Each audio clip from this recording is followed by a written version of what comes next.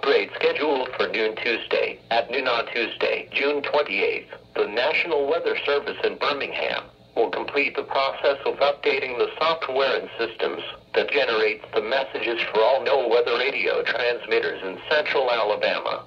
The upgraded software has been successfully tested on the Birmingham and Montgomery transmitters, so the remaining transmitters will be upgraded as well on Tuesday. The upgrade to our NOAA weather radio systems is necessary to ensure broadcasts remain reliable by replacing outdated hardware and software, which was becoming obsolete and difficult to maintain. There is nothing that you will need to change on your NOAA weather radio receiver to continue receiving warnings, watches, and forecasts from the National Weather Service. You will most likely notice a different voice when you listen to our broadcasts. It will take some time for our new voice to learn the proper pronunciations of some of the locations in central Alabama, as well as some of the phrases we use in our area.